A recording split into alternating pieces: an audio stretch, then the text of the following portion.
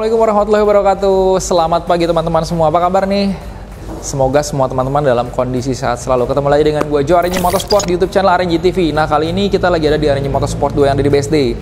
Dan di liputan kita kali ini kita bakal melakukan review singkat, melakukan komparasi atas motor-motor yang kebetulan baru aja datang di Arenji Motorsport 2 yang ada di BSD. Motornya bukan motor eh, kaleng-kaleng, jadi motor-motor super-super keren. Motornya adalah tiga motor luar biasa ini. Kawasaki ZX-10R, Ducati Panigale V4S dan juga Kawasaki Ninja H2. Pokoknya stay tune.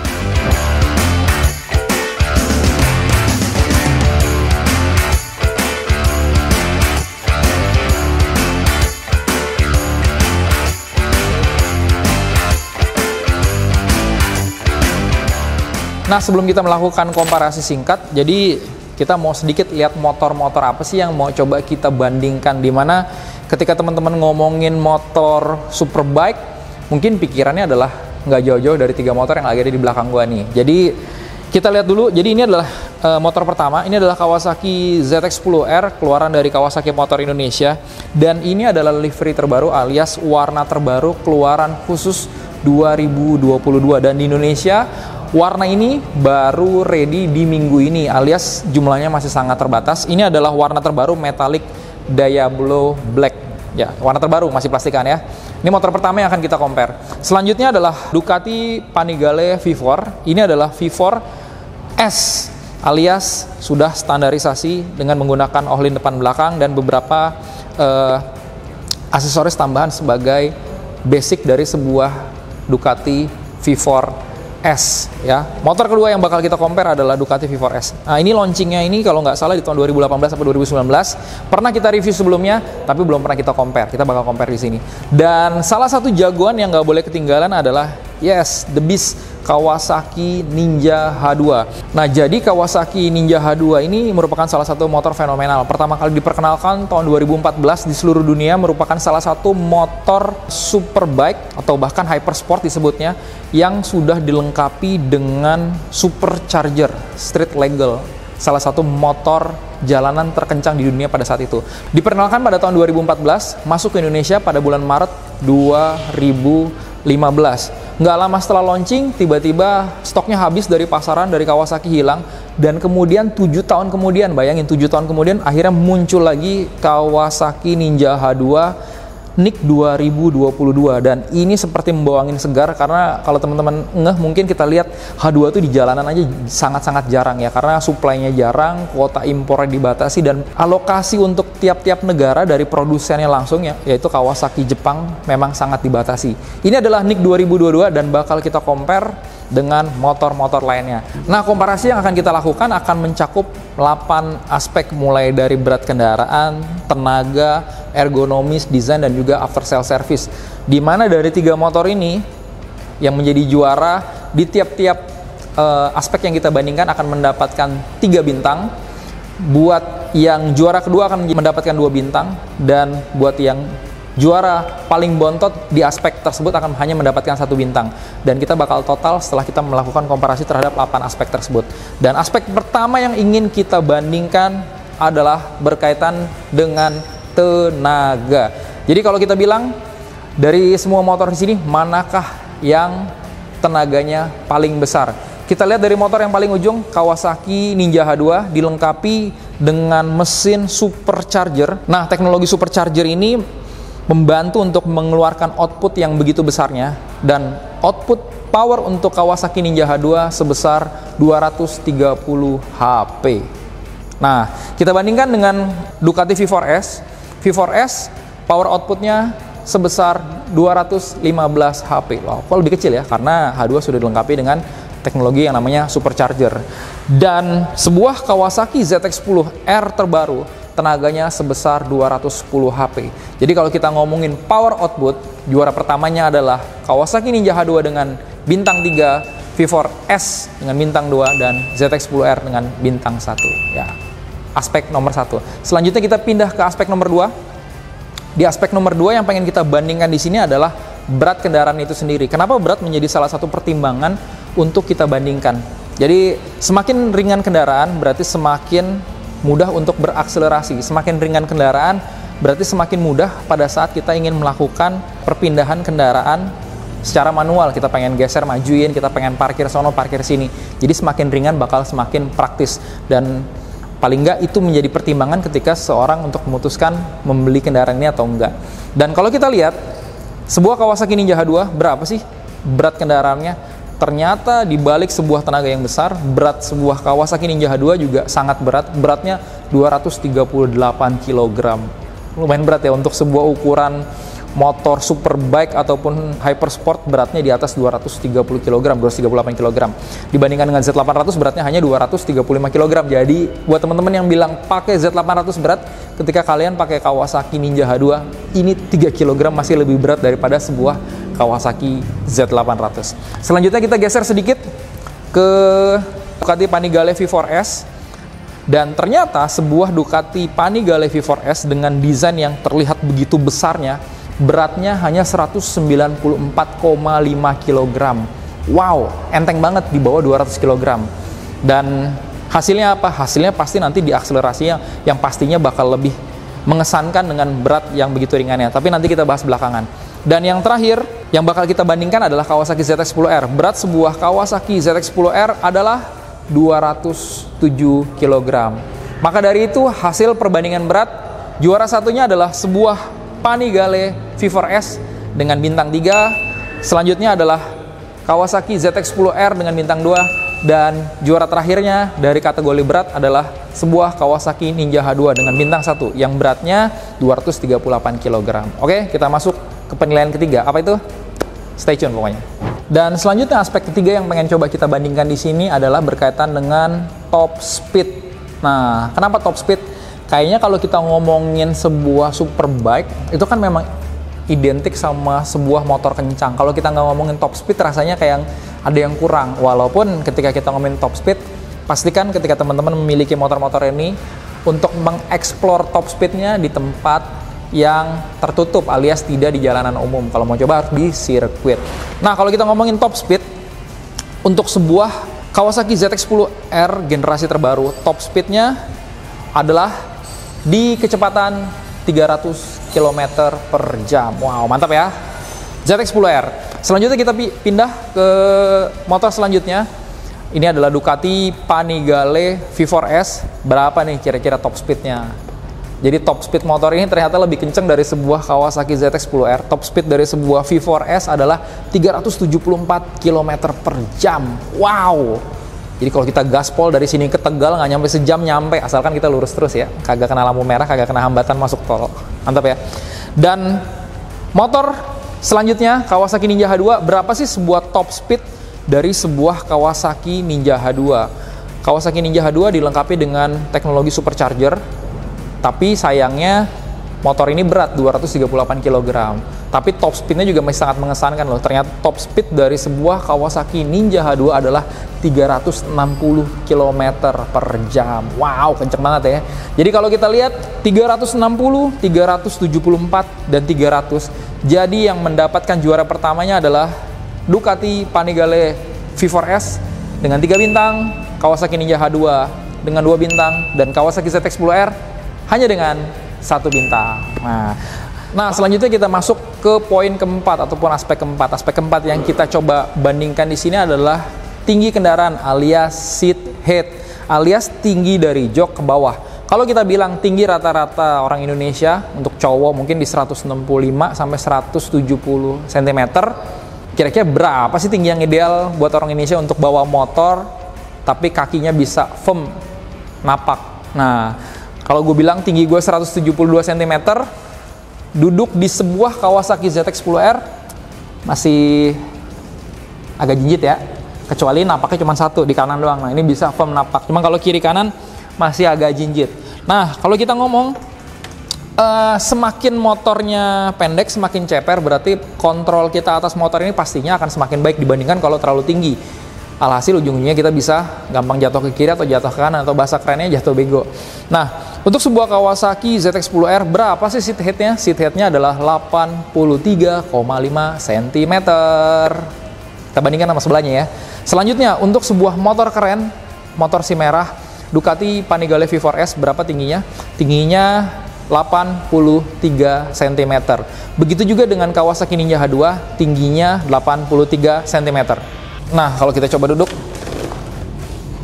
ya sedikit ya nggak nggak signifikan sih, sedikit lebih lebih pendek dibandingkan dengan Kawasaki uh, ZX10R. 83 cm seat head untuk Ducati Panigale V4S dan juga untuk Kawasaki Ninja H2. Nah, karena tinggi seat head untuk Kawasaki Ninja H2 dan juga V4S sama yaitu 83 cm. Jadi dua-duanya mendapatkan dua bintang dan juga dua bintang. Sedangkan Kawasaki ZX10R sedikit lebih tinggi 0,5 cm lebih tinggi. Jadi ada di peringkat ketiga.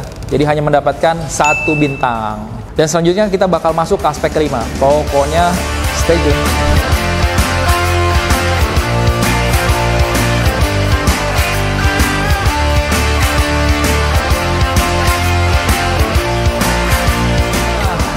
Uh, hal kelima ataupun aspek kelima yang pengen kita coba bandingkan mungkin lebih bersifat subjektif yaitu berkaitan dengan desain. Nah kalau kita ngomongin desain kira-kira mana sih yang lebih ganteng ataupun yang lebih masuk ke preference kita apakah Kawasaki H2 atau V4S ataukah sebuah Kawasaki ZX10R.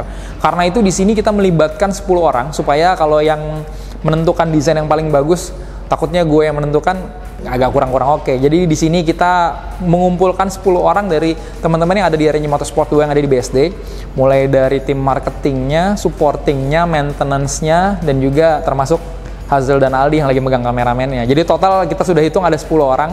Jadi ketika kita melakukan komparasi desain motor mana yang paling ganteng dari tiga superbike yang ada di sebelah kiri gua, apakah H2, apakah V4S, dan apakah ZX10R, dan hasil voting yang kami peroleh dari 10 orang tersebut adalah yang memilih Kawasaki Ninja H2 ada?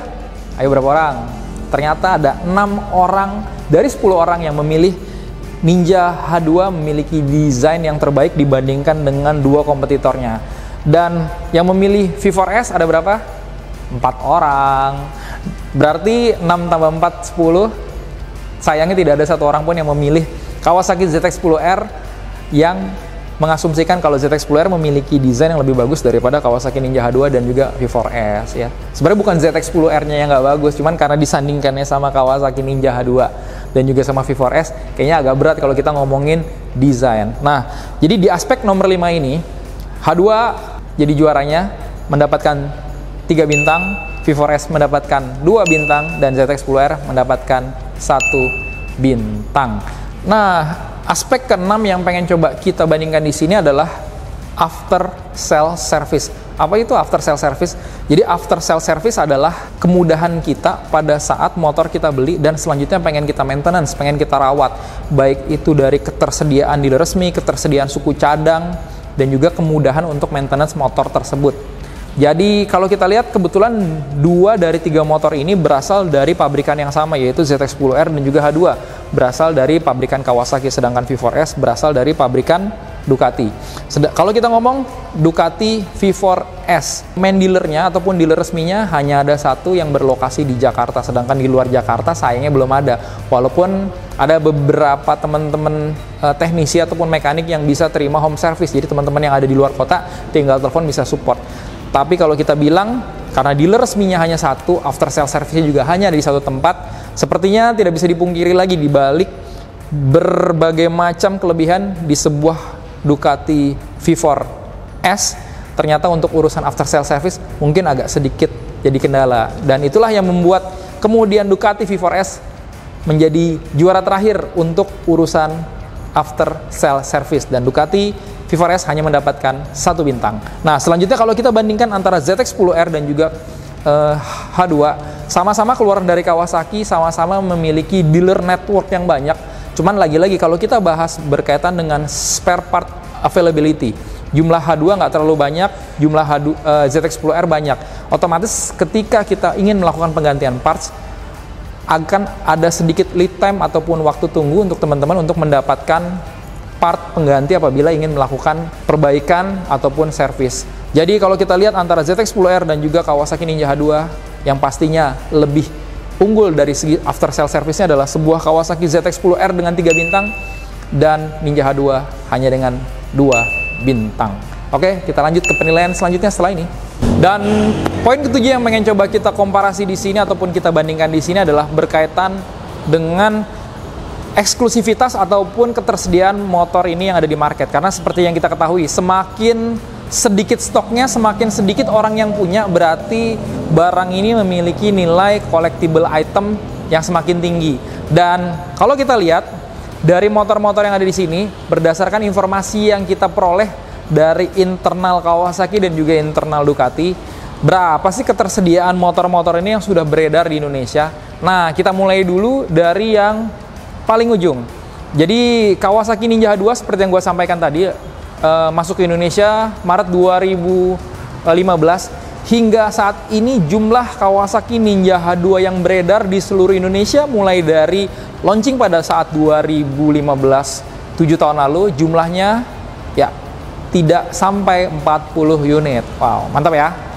Dan selanjutnya kalau kita bahas uh, Ducati Panigale V4S launching 2018, 2019 terdiri dari tiga varian dan jumlah sebuah Kawasaki V4S yang beredar di Indonesia hingga saat ini itu ternyata tidak lebih dari 10 unit. Wow, limited banget guys. Ducati Panigale V4S.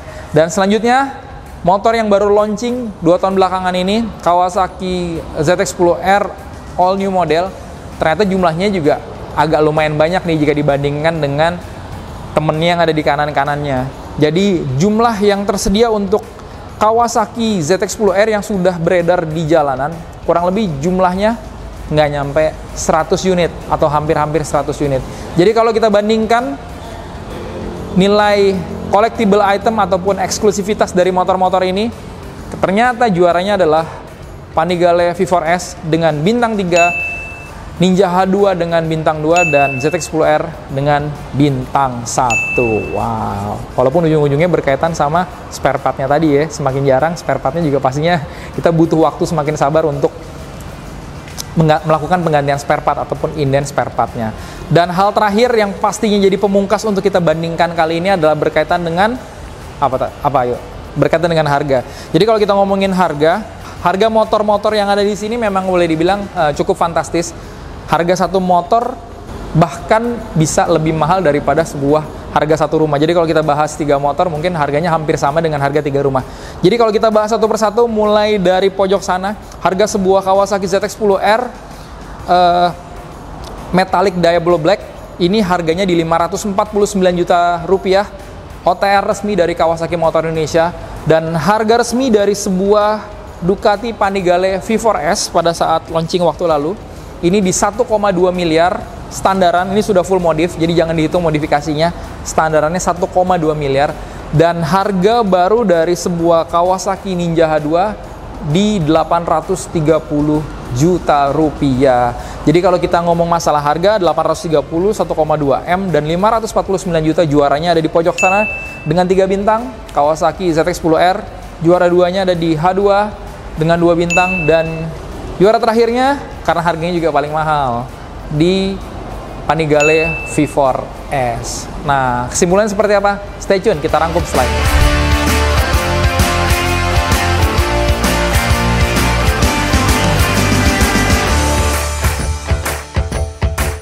Nah, kurang lebih itu 8 aspek yang kita coba bandingkan dari tiga motor superbike yang lagi viral di Indonesia, ZX-10R, V4S, dan juga Kawasaki Ninja H2. Dari keseluruhan, setelah kita rangkum penilaiannya, hasilnya adalah Kawasaki Ninja H2 dengan 16 bintang alias 16 poin, Ducati V4S selisih sedikit di atas Kawasaki H2 dengan 17 bintang dan ZX-10R agak sedikit di belakang nih dengan 13 poin. Karena dari itu melalui perbandingan alat tim Arini Motorsport membandingkan ZX-10R, V4S dan juga H2, maka juaranya ada di Ducati Panigale V4S dengan 17 poin. Nah, selanjutnya buat teman-teman semua mungkin memiliki pendapat yang berbeda. Jadi silahkan tulis di bawah jika teman-teman tidak ada kendala dana untuk membeli motor-motor yang di sini, kira-kira motor mana nih yang mau kalian beli dengan mempertimbangkan seat height, power, berat kendaraan, uh, aspek-aspek lainnya termasuk after sale service kira-kira mana. Jangan lupa tulis di bawah apa sih motor idaman kalian, apakah H2, apakah V4S, apakah ZX10R atau bahkan mungkin ada motor lain lagi yang kalian idam-idamkan menjadi motor impian kalian. Nah, kurang lebih itu aja uh, review dan komparasi singkat berkaitan dengan komparasi tiga superbike ini. Nggak bosan-bosannya di sini gue mengingatkan kalau Arinya Motorsport sedang mengadakan giveaway 4 buah motorsport. Kita sudah masuk ke periode terakhir. Jangan lupa keaktifan kalian di sosial media dari Arinya Motorsport dan juga Fast Automobil. Kita akan melakukan penentuan pemenang final pada tanggal 15 Januari besok. Siapa sih satu orang yang beruntung untuk memenangkan satu buah motor sport 250 cc. Kurang lebih itu aja. Semoga bermanfaat uh, liputan kita kali ini. Thank you semua teman-teman yang ada di Arinya Motorsport 2 BSD sudah membantu sehingga video ini dapat uh, dibuat secara lancar. Thank you Aldi, thank you Hazel. Thank you semua yang sudah menyaksikan. Panjang umur sehat selalu. Ketemu lagi dengan gue Arinya Motorsport YouTube channel Arinya TV. Bye bye. Assalamualaikum warahmatullahi wabarakatuh. Thank you.